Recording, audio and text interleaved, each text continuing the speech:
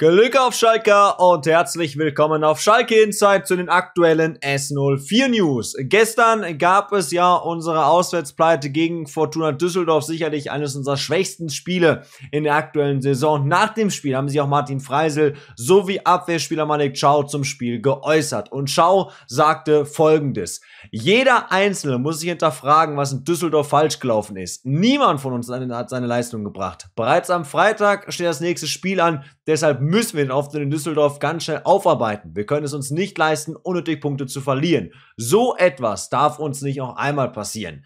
Das sagte also Ciao, der wie natürlich auch alle anderen keinen guten Tag hatte. Ich will ja jetzt gar keinen rauspicken, aber auch ehemalig Ciao war alles andere als gut und hat es hier nochmal wieder am Punkt gebracht, dass halt jetzt extrem wenig Zeit liegt zwischen Sonntag und Freitag, zwischen schlechtem Spiel und nächstem Spiel. Aber vielleicht ist das ja auch ganz gut. Martin Freisel wurde nach dem Spiel nochmal etwas deutlicher.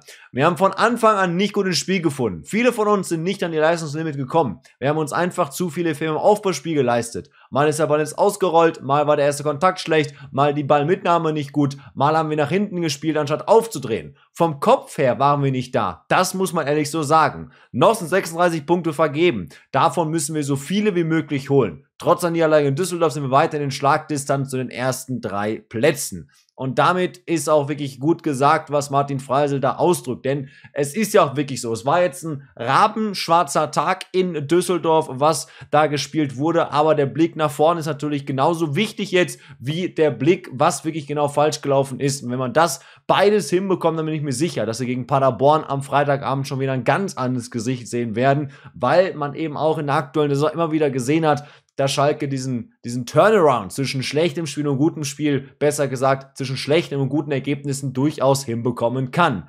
Eure Meinung zu Chaus und Freisels Aussagen gerne mal in die Kommentare und dann sehen wir uns im nächsten Video wieder. Macht es gut, ciao und Glück auf an alle Schalker.